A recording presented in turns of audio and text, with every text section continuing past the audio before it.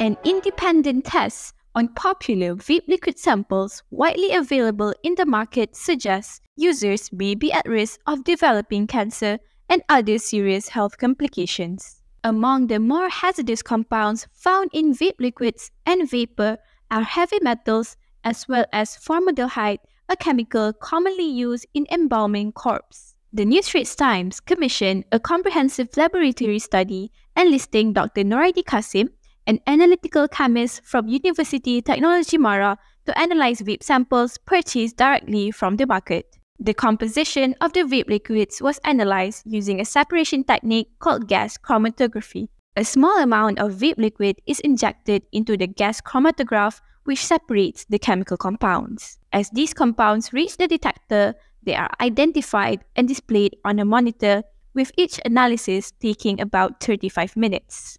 The analyzed vape liquids contain four main components propylene glycol, vegetable glycerin, nicotine, and various flavoring agents. To learn more about the health risks associated with e liquids, visit www.nst.com.my.